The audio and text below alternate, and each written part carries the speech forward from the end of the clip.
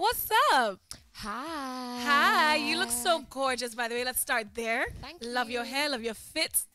I love your hair, love your fit too. Oh, thanks, Boo. Thanks for I try. How are you doing? I'm doing good. How are you too? I'm fine. I'm fine. Welcome to Lagos. I'm sure this isn't your first time here.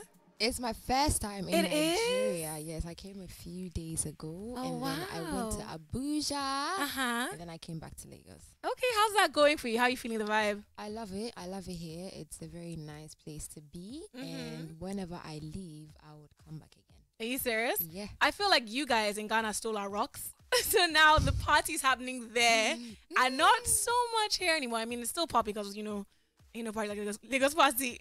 You know the vibe. So you dropped, let's talk about your song. See, we're going to talk about your remix that's come out. Yeah. But this song, first of all, you dropped it in 2020. Yes. It did I guess. amazingly well. Yes. Charted in Lagos, chart- charted in Nigeria, charted in Ghana, and a few other countries. Yeah. Did you expect it to do that well?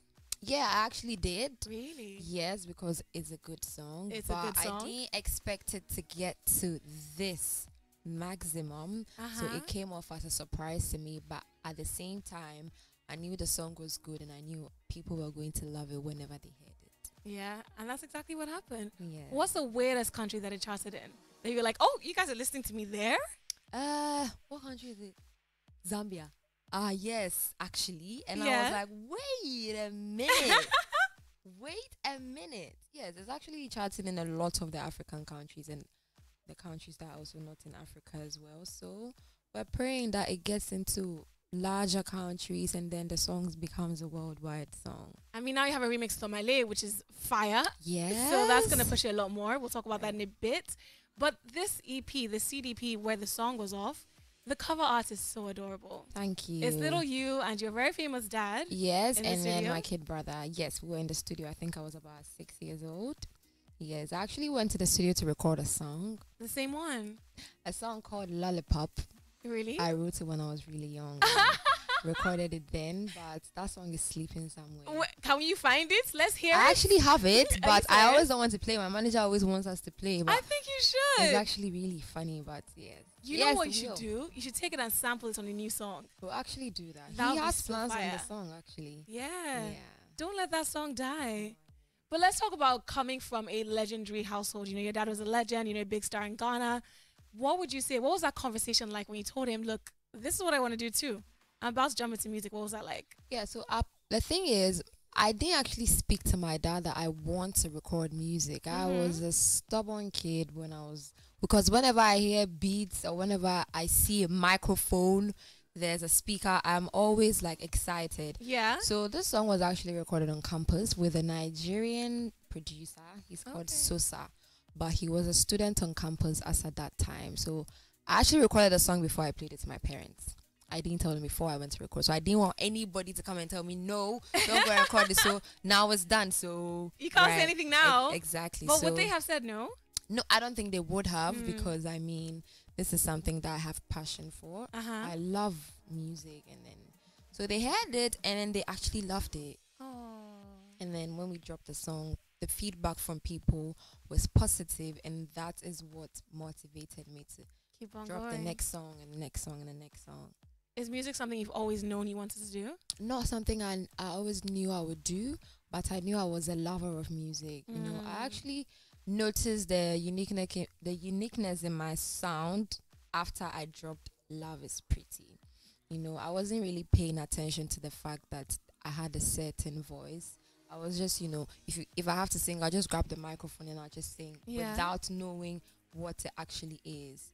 Until the feedback I got after the first song dropped. And then that was when I started noticing that, oh, I actually do have a tiny little nice voice.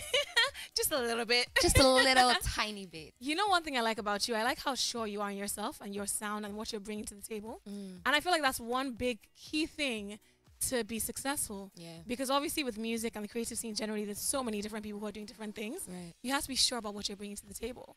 What else would you say is something that you've learned is important for success? Consistency. Mm. Yeah. If, if you started off with something that caught people's attention, you don't need to drive away from it. And that is one thing that my manager and I always make sure we're doing. Whatever that we did that caught you and the fans' attention to Yeah. love my music and to follow m- my craft, that is what we are going to keep doing till the end of time. All right, that makes sense. So we have your remix of Omah Lay here. Mm-hmm. Tell me about this. How did this come about? Who reached out to who? Okay, so the remix actually dropped midnight, um, midnight, Mhm. and we reached out to him. And then when we sent the song over, he fell in love with it. And in a few hours, he sent his verse back. So it didn't really take even a long time for him Are to record serious? his part. And then he sent it back. We've actually shot a video for it. Whoop whoop. So look out for the visual, the visuals coming up really, really soon. All right. Do you want to introduce this one? Let's hear it. Okay, so um, coming up next is Forever, the remix featuring Omah Lay. It's 11:39 on the Beat99.9 FM, the midday show. My name is Dean, and that one was the remix Dozen Sense, Toby and Oxlade. Now, before the news, you heard another brand new remix that just dropped.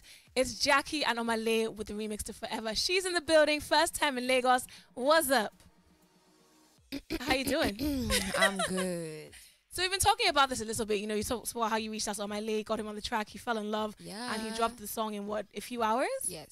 He brought his verse in a few hours. So how come you chose Omah Lay?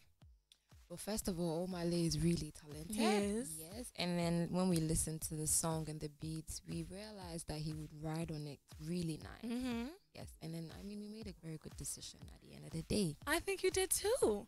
But going forward, who else would you like to work with? I'd love to work with Asa.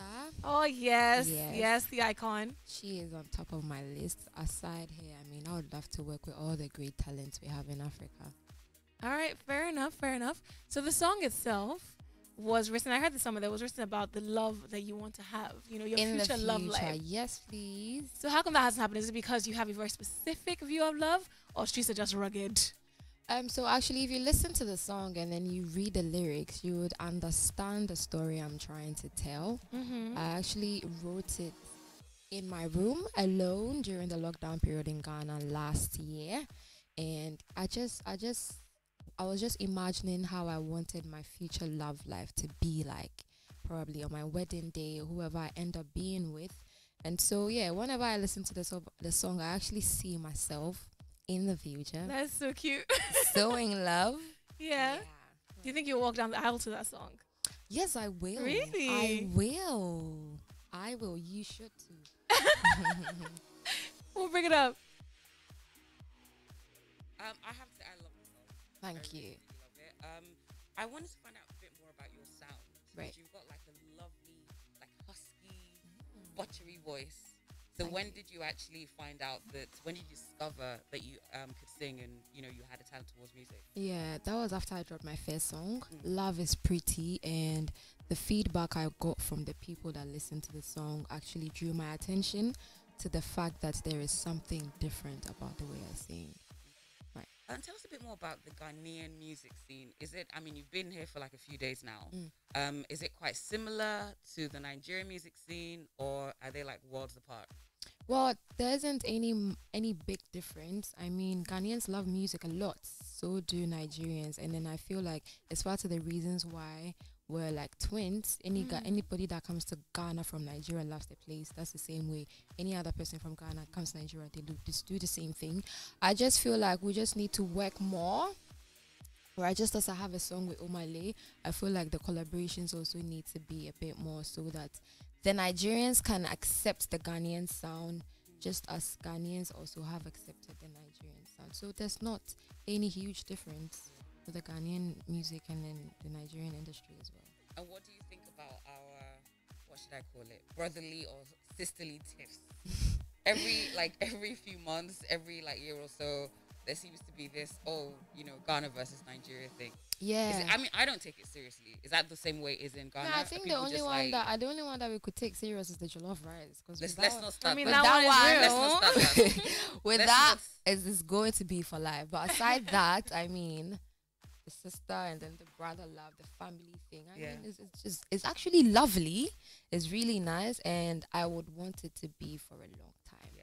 But there's no actual serious, you know, you don't want Nigerians here. No, no, no, no, no, no, no, no. The love is really deep, and you know the vibes already now. I know. Oh my gosh! Like I keep on saying that I need to come back to Ghana. I've only Yeah. been there like um I think I've only been twice.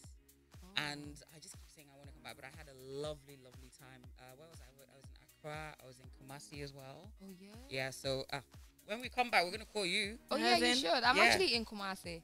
Oh really? Yes, and Oh, so fantastic. I saw like there there are lots of these um like resorts, like almost safari like resorts and Oh, everything. you, you Anyways, you, you I'm gonna- have a good time. I did, I did. I wanted to come back, but then it just I just like okay next year, then next year, then COVID happened. Mm. Yeah. Yeah. So you know, but I'm definitely calling you next time. Right. Yeah. Before I let you go, who else should we be listening to in the Ghana scene?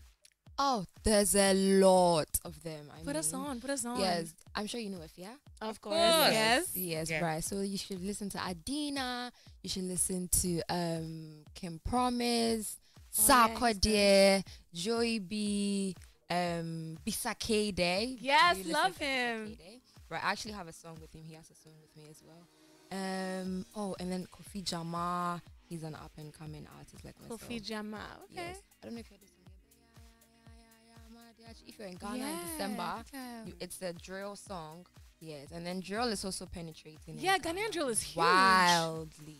It's massive. Wildly, Yes, yes. And so there's so many artists you need to check out in Ghana. I like these collaborations. I'm looking forward to more Nigerian, Ghanaian, you know, the music scene kind of mixing yes, up. Yes, I'm looking forward to it as well. All right, thank you so much for stopping by. Thank you so much Have for a fantastic time in Lagos. Right. Yes, I'm actually, I actually am. And then I said earlier on that I will come back. If I go back to Ghana, I'm going to come back again. Yes, when is that December? Come back and we'll rock off well. Then she's gonna be d- doing Ghana. in December. That's what I was saying. They kind of stole our rocks. They've Yeah. taken over December.